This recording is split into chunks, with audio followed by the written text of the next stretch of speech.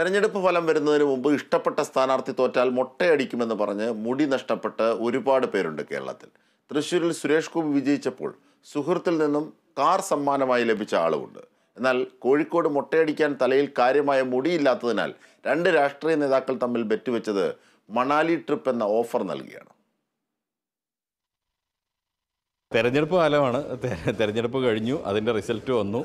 തെരഞ്ഞെടുപ്പ് റിസൾട്ട് വരുന്നതിന് മുന്നേയുള്ള ആ കാത്തിരിപ്പിനിടയിൽ ഒരുപാട് പേര് പരസ്പരം വെച്ചിട്ടുണ്ടാവും ചിലർ ഇന്ത്യ മുന്നണി വരും എന്ന് പറഞ്ഞു ചിലർ എൻ ഡി എ വരും എന്ന് പറഞ്ഞു അത് ഭരിച്ചിട്ടുണ്ടാവും ഒക്കെ ഉണ്ടാവും സ്ഥാനാർത്ഥികൾക്ക് വേണ്ടിയുള്ള ബെറ്റുണ്ടാവും ആ ബെറ്റുകളിൽ ഏറ്റവും രസകരമായൊരു കഥയാണ് കേരളത്തിൽ എല്ലാവർക്കും സുപരിചിതനായ കോഴിക്കോട് മുൻ D C C president K C Abu bet വെച്ച കഥ. അതെന്താണെന്നല്ലേ നമുക്ക് കാണാം.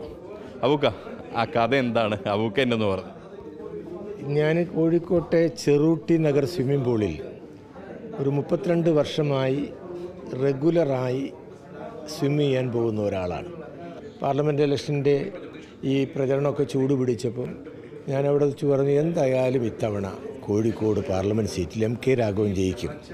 അപ്പോൾ അവിടെ പതിവായി നീന്താൻ എത്താറുള്ള എന്റെ സുഹൃത്ത് ശ്രീ അബ്ദുറഹിമാൻ സി പി അബ്ദുറഹിമാൻ. പണ്ട് കോൺഗ്രസ് ആയിരുന്നു ഇപ്പോൾ അദ്ദേഹം എൻ സി പിയുടെ വലിയ ഒരു നേതാവാണ്. അദ്ദേഹം പറഞ്ഞു ഒരു കാരണവശാലും രാഘവൻ ജയിക്കില്ല. എൽ ഡി എഫ് ജയിക്കുള്ളൂ. കരീമാണ് ഇവിടെ ജയിക്കുക എന്ന് പറഞ്ഞു അപ്പോൾ ഇതിങ്ങനെ വെറുതെ സംസാരിച്ചാൽ പോരാ. നമുക്കൊരു ബെറ്റ് വെക്കാമെന്ന് പറഞ്ഞു ഒരു മണാലി ട്രിപ്പാവാം കാരണം നിങ്ങളെ കാൻഡിഡേറ്റ് രാഘവൻ ജയിച്ചാൽ പൂർണമായും എന്റെ ചെലവിൽ ഞാൻ അബുവിനെ മണാലിയിൽ കൊണ്ടുപോകും. അല്ല ഞങ്ങളുടെ സ്ഥാനാർത്ഥി കരീമാണ് ജയിക്കുന്നതെങ്കിൽ അബുവിന്റെ ചെലവിൽ എന്നെ മണാലിയിൽ കൊണ്ടുപോകണം. അങ്ങനെ ഞങ്ങൾ ബെറ്റ് വെച്ചു. ആ ബെറ്റിന് സാക്ഷിയായത് പിന്നെ അവിടെ ഒരു മാനേജർ ആലിക്കോയ സാഹിബുണ്ട്. അദ്ദേഹം സാക്ഷിയായിരുന്നു.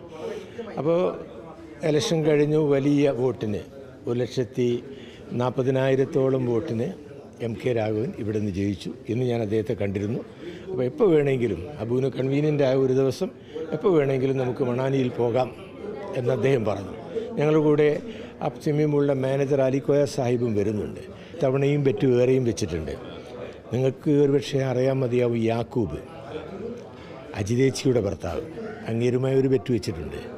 അത് ഞങ്ങളെ സ്വിമ്മിംഗ് പൂളിലെ തിക്ക് ഫ്രണ്ട്സ് ഒരു എട്ട് പത്ത് പേരുണ്ട്. ആ പത്ത് പേർക്ക് ഒരു സമൃദ്ധമായ ഒരു ഭക്ഷണം. എൽ ഡി എഫ് ജയിച്ചാൽ ഞാൻ വാങ്ങിച്ചു കൊടുക്കണം. യു ഡി എഫ് ജയിച്ചുകൊണ്ട് അദ്ദേഹം എനിക്ക് വാങ്ങിച്ചു തരാം ഇന്നും ഞങ്ങൾ സംസാരിച്ചിട്ടുണ്ട്. അങ്ങനെയുള്ള ബെറ്റ് അങ്ങനെ പല തമാശയുള്ള ബെറ്റുകൾ പലപ്പോഴും വെക്കാറുണ്ട്. നാലാമത് എം കെ രാഘവൻ പാർലമെന്റിലേക്ക് പോകുമ്പോൾ അബൂക്ക നേരെ കുളുമണാലിയിലേക്ക് പോകുന്നു. ഒപ്പം മറ്റൊരു ബെറ്റിന്റെ ഭാഗമായി യഥേഷ്ടം ഒരു അടിപൊളി സദ്യ കൂടി കഴിക്കാൻ പോകുന്നു എന്നുള്ളതാണ് അബൂക്കയുടെ രസകരമായ ബെറ്റ് കഥ. ക്യാമറ പേഴ്സൺ രാഹുൽ മക്കടയ്ക്കൊപ്പം Riyas K. M. R. Kerala vision news Kozhikode.